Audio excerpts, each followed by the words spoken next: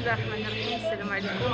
معكم عتيقة حميري مديرة مجموعة مدارس العلاج جماعة القصيدة التابعه لمديريه سيدي سليمان جهة الرباط القنيطره اليوم 3 يوليو 2021 آه، المؤسسة تحتفل بالأطر المتقاعدة من خلال هذا الموسم الدراسي معنا استاذين متقاعدين آه، الأستاذ يحيى الجبيلي والاستاذ عمر بوغينيت حنا كنحتفلوا بهم اليوم.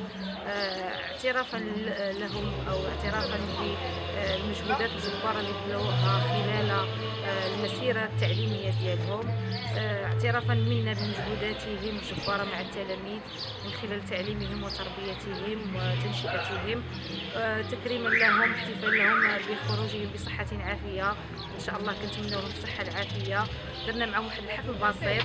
رمزي على قدر القدرات اللي كتوفر في المؤسسة. باش نحتفلوا بهم. بسم الله الرحمن الرحيم. كجمعية الآباء وأولياء التعليم.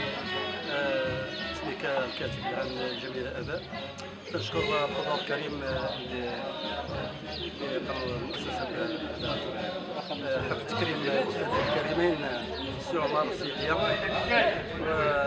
هنا قلت كلمة قصيرة في حقهم وكنشكر جميع رجال التعليم على ما قاموا من مجهودات جبارة في هذا وغادي نتمنى لهم حياة طيبة.